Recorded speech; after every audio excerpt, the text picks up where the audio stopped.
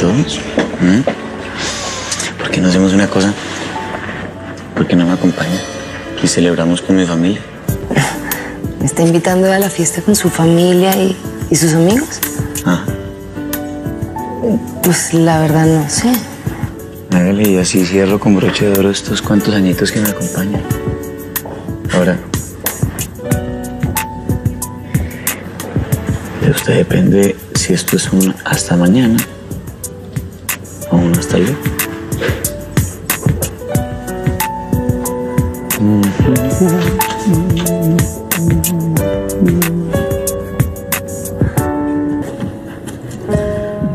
¡Bum! Yo sabía. Qué trabajo ni qué trabajo, sin vergüenza. Tú siempre tan atenta, ¿no? Esa carita de felicidad estoy segura que tiene nombre y apellido. ¿Martín Guerrero o me equivoco? ¿Quién te dice mentiras a ti? Pero bueno, entonces empieza a contar. O si prefieres, utilizo mis técnicas para sacarte absolutamente todo. No, no, no, yo te cuento. Hoy está cumpliendo años. Y me invitó a la fiesta que tenía en su casa. Ay, mi amor, qué felicidad. Me imagino que le dijiste que sí. ¿O qué? ¿Qué es esa cara? ¿Estás dudando? Ay, por favor, Natalia, pero deja la bobada. Es que no sé si debo irte. ¿Qué? Pero claro que debes ir. Es más, se te nota que quieres salir corriendo, a abrazarlo, a darle su happy birthday. Sí, pero... Pero nada, te vas. Y ese es mi consejo, te vas. Pero claro que como los ánimos aquí están un poco complicados, señorita Natalia, esta conversación nunca existió. Cambio y fuera.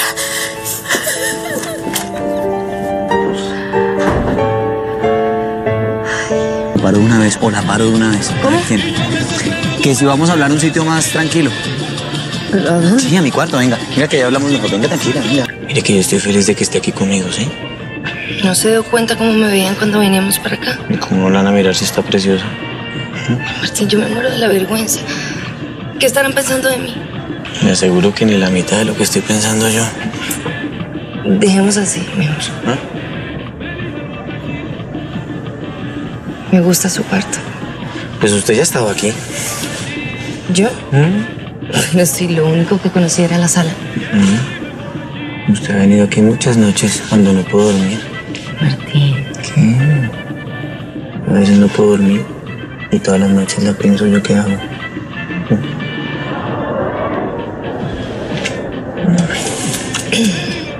Bueno, ¿qué hiciste? No, no, a mí, a mí el baile no se me da bien, Martín. bailamos esto en un suavecito. Sé que es suavecito. Aló. Noelita, mi amor, qué sorpresa. Eh, sí, sí, se me había hecho raro que no se hubiera reportado. Ay, mamita, yo también la quiero. Mi amor, acá está tu cargador. Ay, gracias, tía. ¿Dónde lo había dejado? En la cartera que tenías ayer. No sé dónde tengo la cabeza, te lo juro. Mm, sí lo sabes. Sí, tienes razón. Eso pasa cuando trasnochas entre semana, cuando llegas tarde, cuando duermes poco, cuando vas rápido para la oficina, cuando... ¿Cómo te recibieron anoche? Ahora no tengo tiempo. Estoy muy apurada. Y Martín te está esperando. Semáforo en verde, quinta fondo. ¿Qué? Bueno, te voy a contestar como me decía mi mamá cuando yo tenía piojos. De que se pega, se pega. Te amo. Y linda como siempre. ¿Qué digo, linda, hermosa? ¿Cómo me le va? Bien. ¿Descansó? Sí.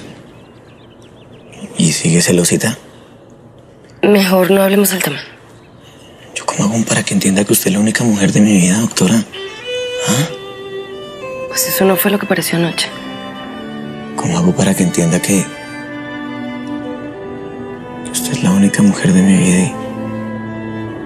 que fue mi mejor cumpleaños sencillamente porque la vi sonreír? Que usted se sube a ese carro y yo me la quiero robar para estar con usted todo el día, todos los días. Martín, es tarde. No sea mentirosa, doctora, que usted sabe lo enamorado que estoy de usted, ¿cierto? Usted se da cuenta. Se da cuenta que solo... solo puedo pensar en usted y ya. Estamos en... En su casa. Estamos en su mundo. Pero dígame yo qué hago. ¿Yo qué hago si ya necesito es que usted se dé cuenta que yo solo respiro por usted?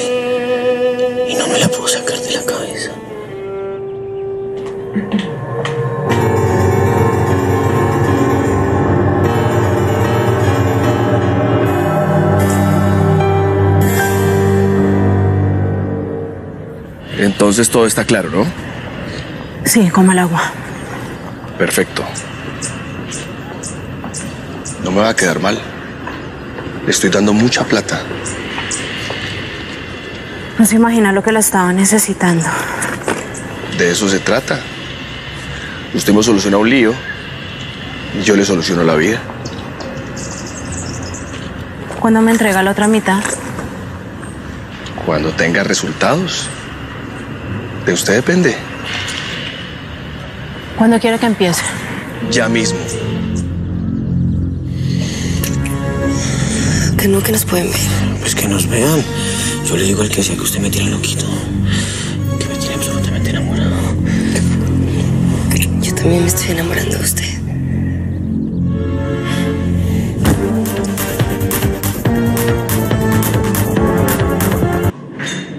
Eh, ¿Será que puedo saber qué pasa? ¿Cuál es el misterio? Mi situación no puede ser peor, Martín. No sé si fue casualidad o, o que me siguieron porque alguien les dio el dato. El hecho es que nuestro beso terminó siendo la noticia del momento. Bueno, pues. ¿Yo qué le puedo decir? Pues eso ya fue, ¿no? Y, y bueno, pues seguirá siendo. Usted es una ejecutiva muy exitosa y tiene todo el derecho a sentir, ¿no? A vivir. No fue, Martín. Está pasando en este momento y es un problema muy grande. ¿Y ¿Cuál es el problema? Si usted ya no se va a casar, hasta Rodrigo dijo que no había matrimonio. La cosa no es tan sencilla, Martín. Pues a mí me parece que usted la está enredando, la verdad. ¿Perdón? Pues sí, ¿Usted es consciente de lo que está pasando?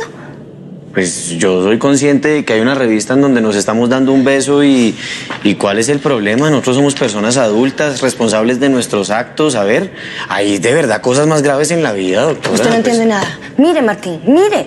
Sí, nos vemos divinos. Un beso de los dos enamorados, felices, dichosos. ¿Cuál es el problema? ¿Esto qué nos puede traer de problema? ¿Esta foto qué? Todo, Martín. Es una vergüenza para mí, para mi familia, para la empresa. ¿Cómo enfrento mañana a los empleados? ¿Con qué autoridad les doy la cara a ellos y a los clientes? Ah, no, ya entiendes que para ustedes todo un logro, toda una hazaña, eso es lo que pasa, ¿verdad? Es que es el conductor que sedujo a la empresaria. Seguro hasta lo felicitan.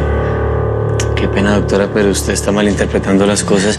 Y si usted está pensando que yo estoy con usted por alardearle a mis amigos, está tan equivocada, ¿de verdad?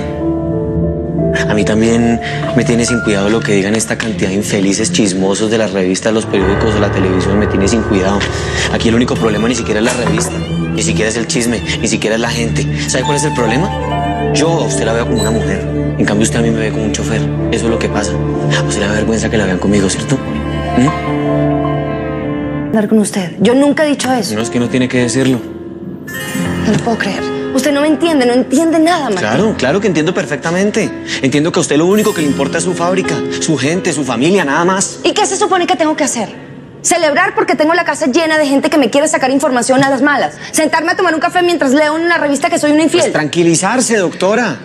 Ni usted ni yo planeamos esto. No lo debimos ir a ese sitio, ¿Y entonces Martín. qué debimos haber hecho, ah? ¿Escondernos? ¿Como estamos haciendo ahorita porque a usted le da pena? ¿O qué? No es pena, Martín, es la prensa que está encima para agrandar todo lo que está pasando. ¿En qué idioma se lo digo? A mí la prensa me importa un carajo. Qué pena le hablo así, doctora. A mí no me importa la prensa. Y se lo digo para recordárselo, porque como a usted no le importa lo que yo estoy sintiendo, lo que yo esté pensando, porque no me lo ha preguntado. Ay, Martín, por favor. A usted esto no le afecta en nada. Yo soy responsable de mi familia. Yo dirijo una de las empresas de dulces más grandes del país. ¿Y yo quién soy? Nadie, ¿cierto?